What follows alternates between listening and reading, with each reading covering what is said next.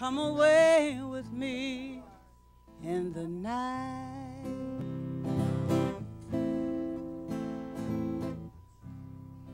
Come away with me in the night. Oh, and I, I will write you a song. Won't you try? Come away with me tonight. Come away with me on a mountain top.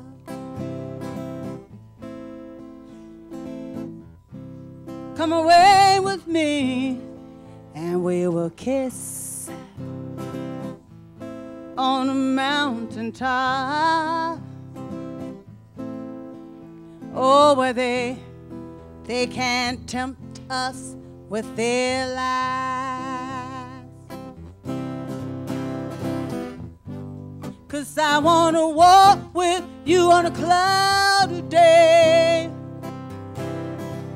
Oh, in fields where the yellow grass grows knee high. So won't you try,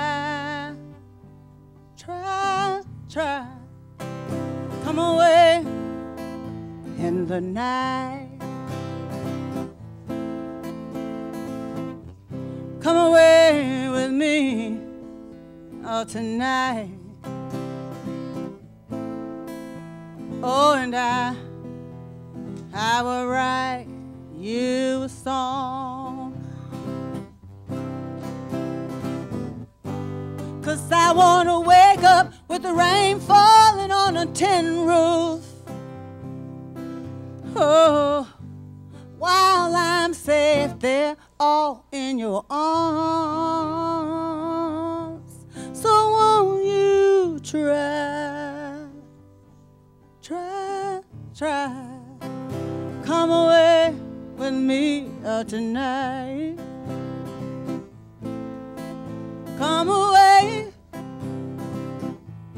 on a mountain top, valley low. Come with me, baby, baby, oh, wherever I, I go. Won't you come away with me?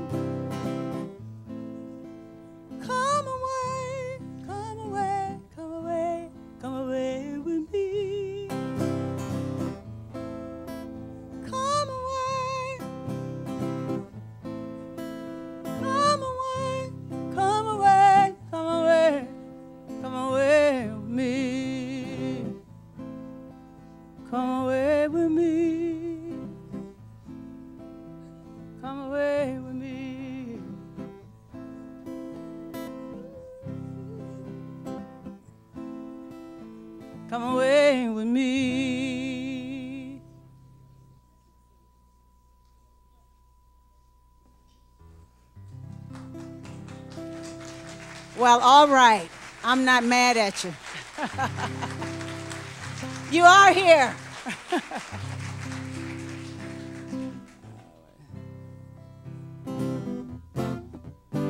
Somebody wrote a song about knowing when to hold them and knowing when to fold them. This is my version of that.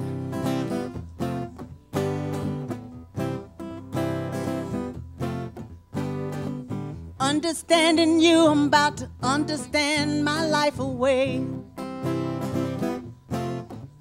Oh, it's been a long time coming, y'all, but I'm taking care of me today. Ain't got no money, ain't got no house, ain't got no fancy limousine, no. But I've got me and I know God, that's all that I need. Oh, I'm changing, I'm rearranging my life. Well, I'm trying to find my way to a place that I've never been before. I'm looking for love, peace, and happiness in my soul. Well, I spent a lot of time on the run. Oh, but today I like who I've become. I said I'm changing, I'm rearranging my life. Ooh, there's so much feeling right between us, but still there's something wrong. You see, it's you and me and them, and all the baggage we bring along. Not the lack of love that's got me pulling away, no, no. And you know it ain't been easy, cause a part of me really wants to stay. Oh, but I'm changing, and I'm rearranging my life. Well, I'm trying to find my way to a place I've never been before. I'm looking for love, peace, and happiness in my soul. I've spent a lot of time on the run. I said today I like who I've become, but I'm changing, I'm rearranging my life.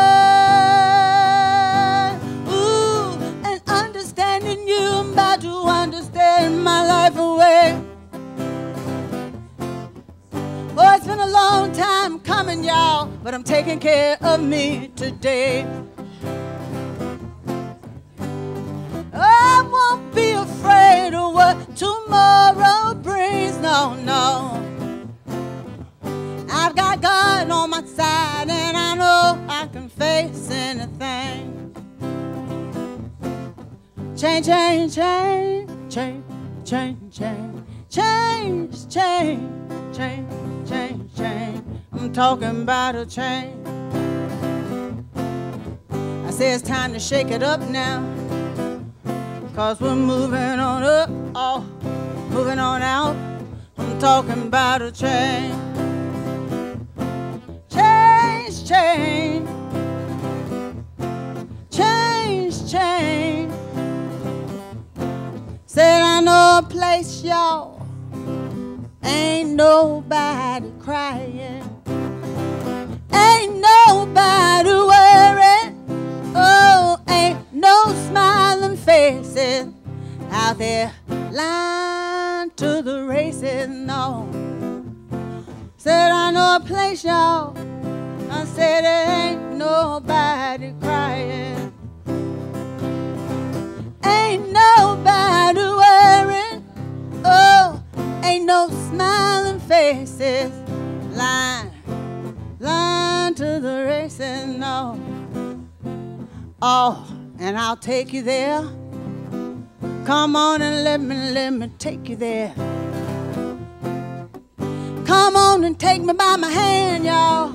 Oh, and I'll take you there. Come on and take me by my hand. Won't you let me, let me take you there?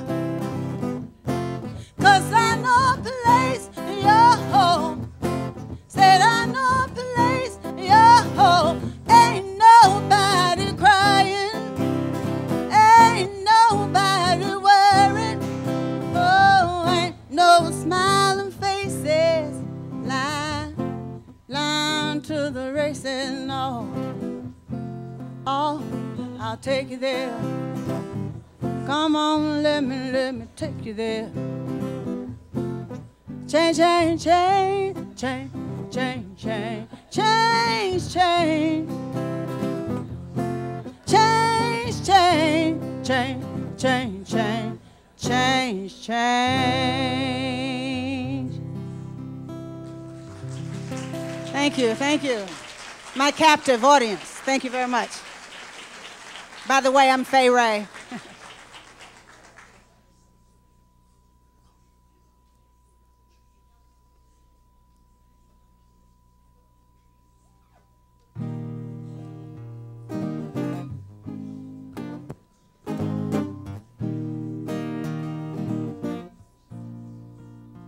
Oh, if I, oh, if I should stay,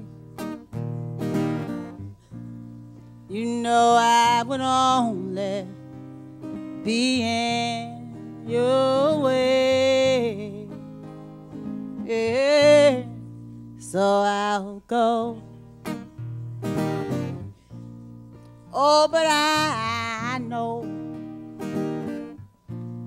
that I will think of you every step of the way.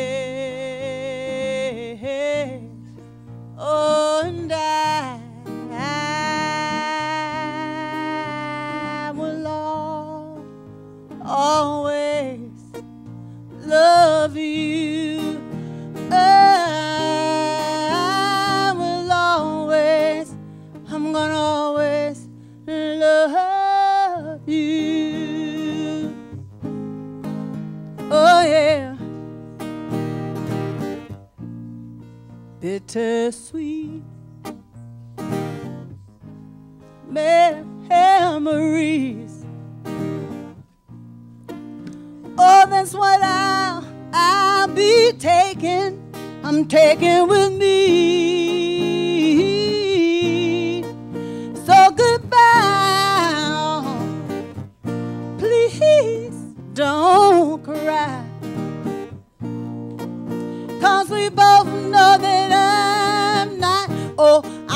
What you need.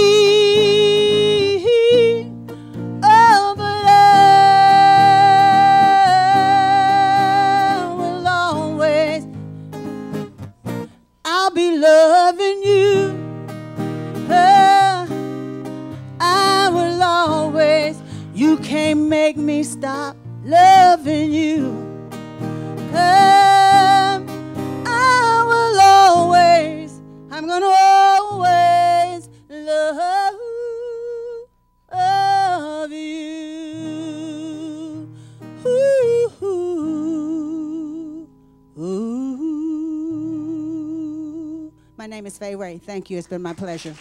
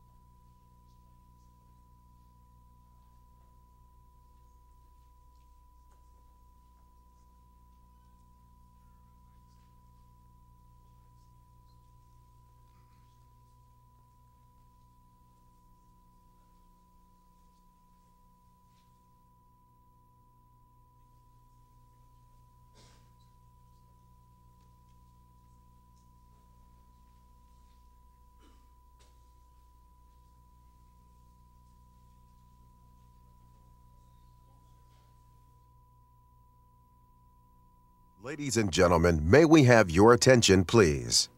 On behalf of the history makers and tonight's sponsors, we want to welcome you to an evening with Richard Parsons. We are videotaping tonight's event at the Jack Morton Auditorium for television and ask that everyone be seated and remain so for the duration of tonight's program. As a member of our audience, you consent to being videotaped and shown as a part of our PBS television program. Also, if you are asked by one of our ushers to sit in a particular location, please oblige us by doing so. You must stay seated during the duration of the program. There can be no chewing of gum. Also, please turn off all, and we mean all, cell phones and pagers. This includes cell phone vibrators. Non authorized video cameras, flash cameras, or other recording equipment are not allowed to be used during this TV taping, and we have a right to remove and safeguard them during the taping. Now, please join us in welcoming our MC for the evening, one of America's leading journalists, Fox News contributor, and National Public Radio correspondent, Mr. Juan Williams.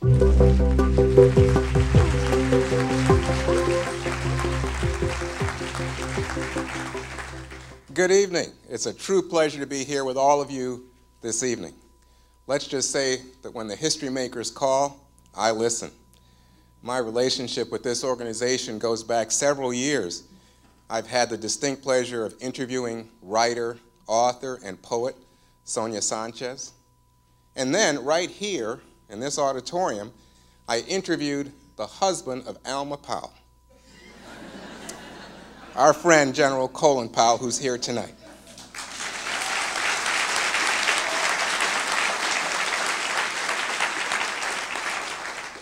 The History Makers has planned a very special program for all of you. Our guest of honor is Dick Parsons, business icon and chairman of the board of Time Warner, America's leading media company. Mr. Parsons will be interviewed by CNN's Soledad O'Brien. All history makers, including tonight's special guest, walk in a tradition of African American success. Pioneers, trailblazers, dreamers, believers, the courageous, and the cheerful.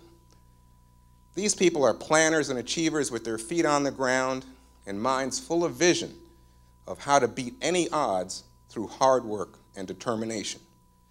This is the inspiring story of black history makers from Benjamin Banneker to Sojourner Truth to President elect Barack Obama. Now, let me say that tonight's honored guest Dick Parsons knows hard work. He knows what it means to stay awake nights, figuring out success. At his age, we're just trying to get him to stay awake days now. In all seriousness, tonight's program is really the brainchild of our event chair, the one and only Mr. Vernon Jordan.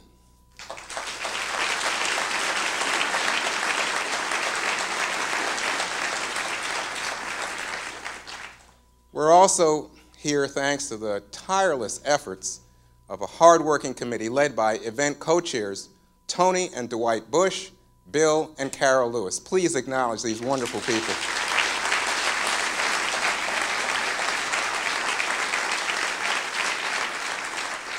And on behalf of the history makers, we also wish to thank the benefit committee, volunteers, all these interns that you've seen helping tonight the staff who worked so tirelessly on tonight's program.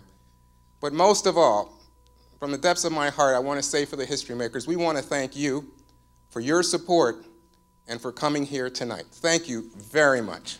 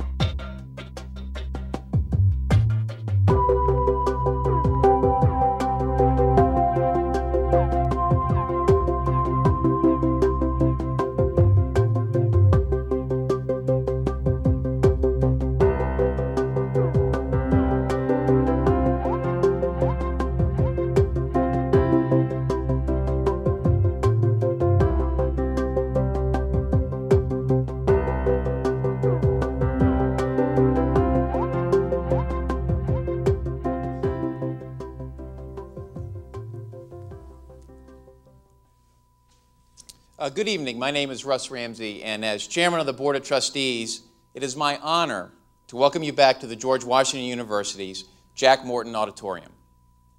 We are pleased again this year to be one of the sponsors of this event. GW is proud of its association with the history makers, and it is indeed an honor to celebrate one of our great Americans and a dear friend, Dick Parsons. I also have some great news to share with you. Last year at this time, Julieanna Richardson asked our president, Steven Knapp, to further the relationship between the George Washington University and the history makers. And I am very proud to announce that starting next semester, Meredith Evans Rayford, our head of special collections, will provide training to all students here at GW for the use of the History Makers Test Digital Archive. I hope that you are as pleased as we are now it is my pleasure to introduce another of Washington, D.C.'s great people, one of our top lawyers, as well as the title sponsor of tonight's event. She also serves as chair of the board of the History Makers, Ms. Toni Cook Bush.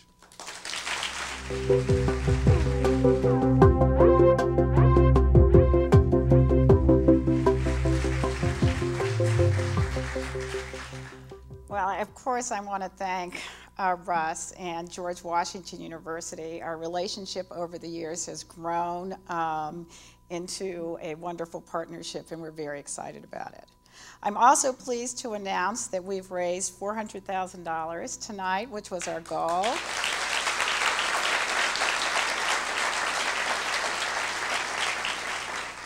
And I want to thank all of you here tonight for your support. Um, your support is very important to us, and we really appreciate it. Uh, we have created a collection um, that is unparalleled. In fact, the President-elect Obama is, was interviewed by the history makers in 2001 before he was the president-elect. Um, and he and the First Lady-elect, I think that might be the right term, uh, were early supporters of the history makers. Our collection has over 8,000 hours of African American testimony. It's the largest collection of its kind in the world. Uh, we have a total of 1,900 interviews, and they average three to four hours in length, although there is one that's 17 hours, and maybe later I'll tell you whose it was. um, we are looking to continue, and all of you tonight have helped us um, on our journey. Um, with your support, the History Makers has, been, um, has raised over $10 million since its inception, and every penny has been reinvested back into the organization. We do interviews constantly, no matter what's going on. Um, and we use that money also to improve our processes and to work towards relationships like the one we've developed with George Washington. Um, I want to thank you again for being here tonight, and now it's my pleasure to introduce the History Makers founder and executive director and creative visionary, and my good friend, Julieanna Richardson.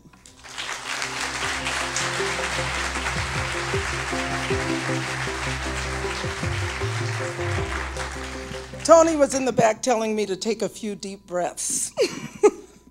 Um, it's really a pleasure. She's been a constant supporter, a voice of reason, and a true friend. Um, together, we have really worked um, with a dedicated group of supporters uh, to build this collection. I want to thank you, Vernon Jordan, for making this, this program possible tonight. I want to acknowledge you, uh, General Powell, um, um, because we interviewed you in 2006. Um, I want to thank you for your life and career and your integrity.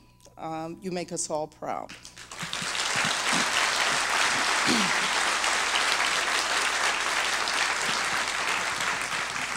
the Powell family are really a wonderful family. We interviewed not only Colin Powell, but his son and Alma Powell uh, back in 2006. Uh, there are uh, several of our um, history makers here in the audience. I was hoping you would stand so we can acknowledge you. We, we appreciate, can you please stand, those of you who are here? Oh my goodness, what a shy group.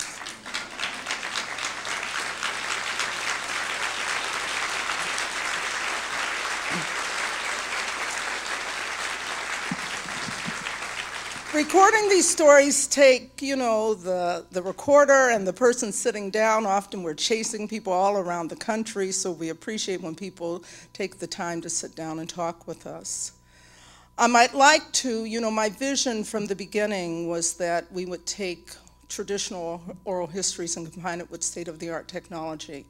We could not have done it um, had I not um, met or been introduced to a Professor Howard Wactlar, who's here from Carnegie Mellon. Pro Professor Wactlar, will you please stand? Um, it's his, he's.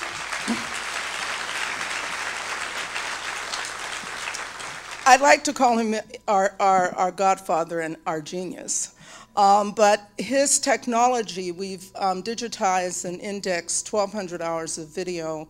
Um, it's the largest searchable database of its kind. It's now um, being tested, um, as Russ Ramsey said, um, that George Washington University, who's made a wonderful partner with us, has stepped forward and followed the challenge. But they've joined Carnegie Mellon University, Buffalo SUNY, the University of Illinois, and, uh, I'm sorry, Syracuse, um, to use this collection in the classroom so there are people that are actually using it as we speak. Um, this is our vision. Our vision is really to change the dialogue of African American achievement in this country. This summer, we had 16 interns at the History Makers. They hailed from Harvard University, Amherst, Brown, New York University, DePaul, the University of Illinois, and the University of Chicago. I want to share with you their experiences, their presence in our office this summer, their excitement about the collection often brought tears to my eyes. Let's take a look.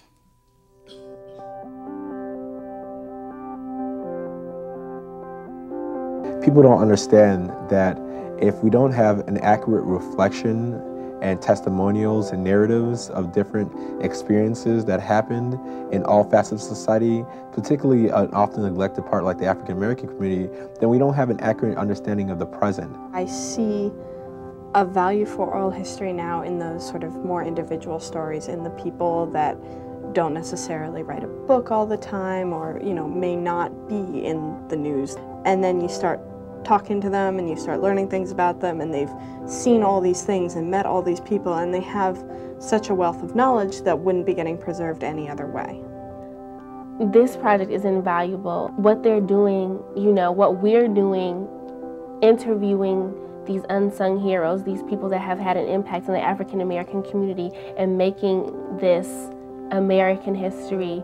You know, we go into this, we have our education institute, you know, where we're going into these schools um, and, you know, immersing young children in this African American history, history, introducing them to history makers, pairing them up with a mentor, um, so they can see that there are people, especially African Americans, male and female, that are doing the right things, that have succeeded. The insight that our interviewers are able to bring out in these historically important lives will be a testament and, and an asset to future scholars and, and to generations in the future. I really like the interactive nature of this of this archive. So it's not, you know, in a dusty, musty space that nobody can see. We're taking it out into the community.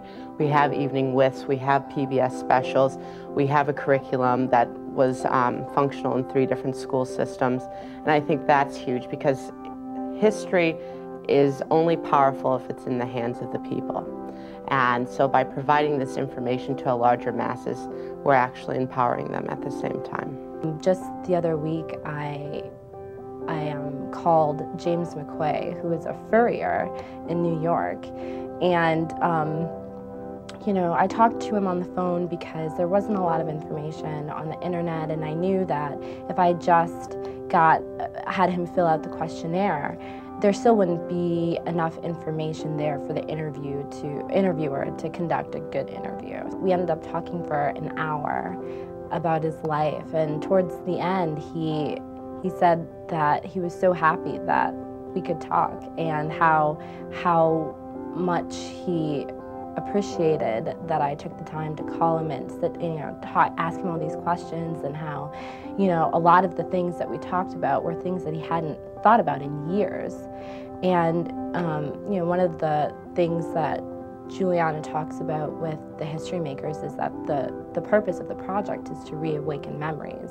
Because African Americans the chance to become not, you know, this monolithic thing, but more of like a mosaic of different people and experiences and things to show that, you know, we're not one thing or another thing. You know, there's a vast, vast range of experience of experiences in African American history and things that are being created now. And I think that we have a real opportunity here to, to capture that and to make and to keep it current while also documenting the past. The magnitude of this collection is really, really hard to describe, but you know, that it's really important that people get excited about it and just really try to um, use the resources that we have here. I don't know if you can put a va- could put value on it. It's invaluable. It's just it's amazing. especially I look at um, going to public school for high school here in Chicago, and we spent forever learning about the Holocaust but maybe a week in February learning about black history. And I think that it's just really important to have that at our fingertips and have access to it, especially in the schools. Because I have a hard time to define, you know, what is the history makers. Because uh, I think I, I, I told to somebody once, but I think in some ways everybody can be history makers. I'm an Afro, um, a history major at Brown. Um, also, very interested in African American studies, Africana studies, so I'll do a double major. Um, so I'm always thinking about ways to innovate the program, the project, because I absolutely love it and I think it has all the potential in the world.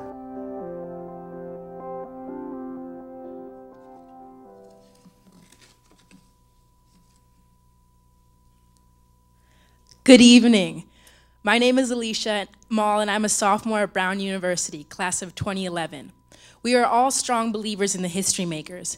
Standing with me, Brittany Mosely, a junior and economics major at Harvard University, and Kimberly Collins, a graduate student at DePaul University. Brittany produced an evening with Eartha Kitt and did an amazing job. Kimberly, who spearheaded the who spearheaded working on the evening with Richard Parsons, chose to do her public interest internship with the History Makers for the next 10 months. Thanks to public allies where First Lady Michelle Obama was the first executive director, we feel extremely honored to stand before you tonight representing the History Makers, the largest African American archival project of its kind in the world, especially at this defining moment in our history. There is no denying that this organization has a special place in my heart and a pivotal, unwavering place within African American discourse. The passing of my father, Albert Maule, a Harvard trained lawyer, left me at a young age without clear access to my African American roots. My mother, Adela Cepeda, who is here in the audience tonight, is from Colombia and has been an amazing force in my life, but unable to give me the foundation um, to be a black American the way my father could. It has been through my long hours of research with the history makers that I have been able to make those roots tangible, becoming intimately acquainted with the lives and groundbreaking works of thousands of African Americans, such as Ann Nixon Cooper. Particularly moving has been the privilege to listen to the individual stories within our archive, their voices resonating with the historical path of our people.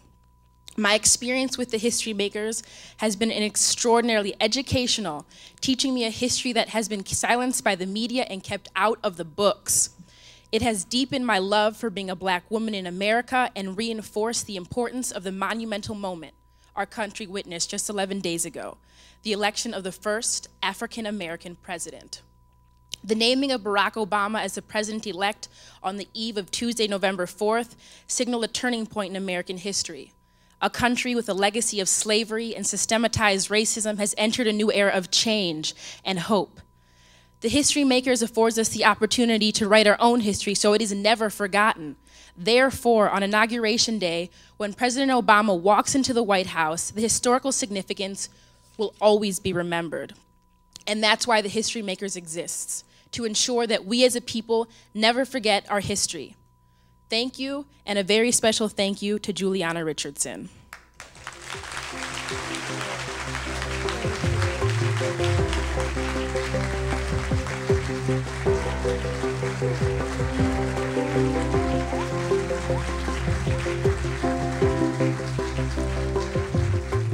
Those kids really delivered for me, I'm telling you.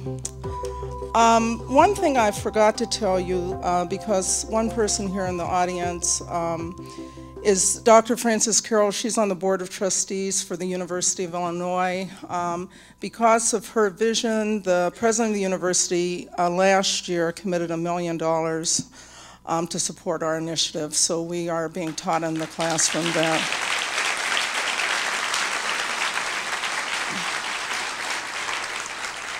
You see, the interest and dedication to our collection now gives me immense hope, um, even though times have been difficult.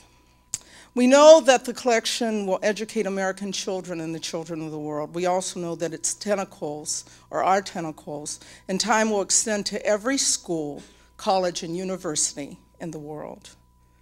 Now, it is my pleasure to introduce tonight's host. Miss Soledad O'Brien. She is literally known to millions around the world. Born in New York of parents of mixed heritage, the fifth of six children, she has often been the voice and is the voice of Black America. And her name means the Blessed Virgin Mary of Solitude. And when I see her, she makes me smile. Ladies and gentlemen, let's give a warm welcome to the one and only Miss Soledad O'Brien.